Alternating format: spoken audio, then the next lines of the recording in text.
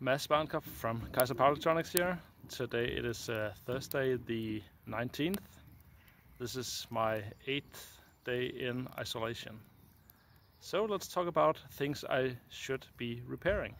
So this is my small line of um, items I need to repair. This is mostly some more of the exotic high voltage gear that I have come across that yeah either have stopped working while I owned it or I got it for free because it wasn't working. So if you start out over here, this is a 12 kilovolt non-destructive insulation tester.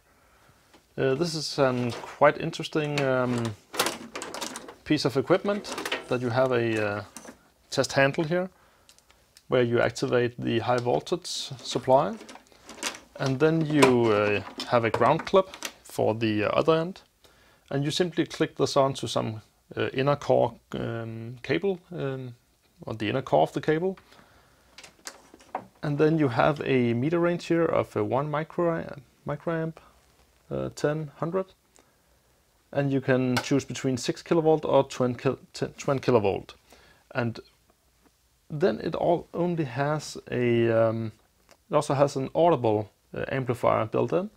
So you can actually see the leakage current that you uh, measure through the insulation, or you can also hear uh, audibly what you are yeah the the faults in the cable or once you find something where the the spark can jump through you can hear it in the speaker.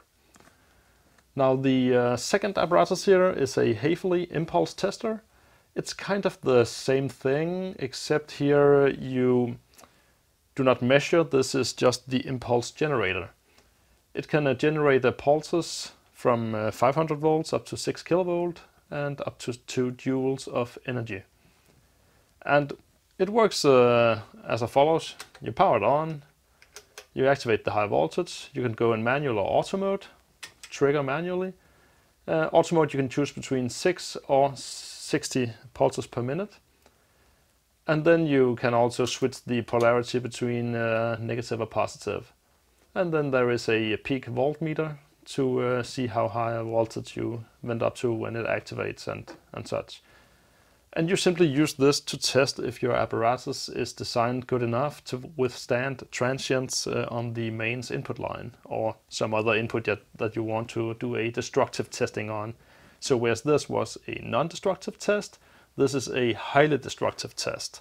It will destroy your equipment if you do not design it properly. Now the probes for this one is um, kind of funny. It looks like some high quality speaker or microphone connectors. Uh, comes from a company called LEMO. And we can see it's high voltage from the thick piece of insulation, white in the middle there. But then in the other end where you have the, uh, you connect to your stuff, that's just a plastic handle with a banana plug at the end. That seems a, a, little sketchy and I doubt that that is the original design for, for this, but I could be wrong. That could be the original design. And then last over here we have the Spellman high voltage DC power supply, 10 kilovolts at 10 milliamps. Not much to see here, on off. You can adjust the output from 0 to 10 kilovolt and the output is on the back, which is a high voltage um, antenna plug that you know from uh, most RF outputs on ham radios and such. Uh, it's all in that range.